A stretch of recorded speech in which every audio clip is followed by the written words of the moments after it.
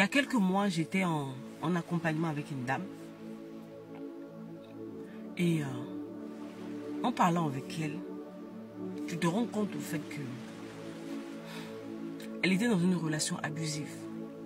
Mais le pire, le pire est que elle se rendait même pas compte. Elle ne savait même pas que ce genre de personne, d'individu pouvait exister. Parce qu'elle, au fait, elle est une personne avec un grand cœur, ouvert, aimant aider les autres. Elle est tombée, au fait, sur un manipulateur. En fait, quand elle me décrivait la personne, je retrouvais tous les caractéristiques, au fait, du, manipulateur. Et quand elle a fini de parler, je lui ai dit, regarde, le type de personne à qui tu avais affaire. Elle tombait des nues. Et en fait, elle avait du mal à...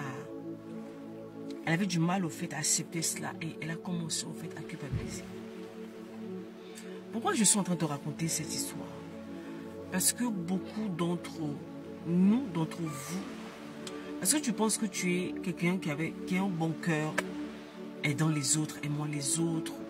Tu penses que tout le monde est comme ça? Malheureusement, on n'est pas dans un monde de business. On est dans un monde de guerre. Tu comprends?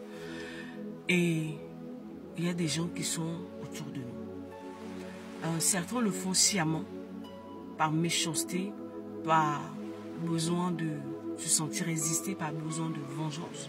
Ce sont des personnes qui sont brisées, cassées de l'intérieur et leur force, ils le trouvent en fait en faisant du mal, en piétinant les autres. Donc faites attention à vous surtout, renseignez-vous, formez-vous.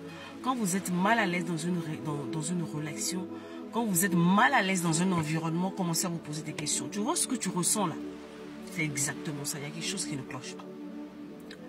Maintenant, il faut que tu ailles chercher les bonnes réponses. N'oublie pas de t'abonner.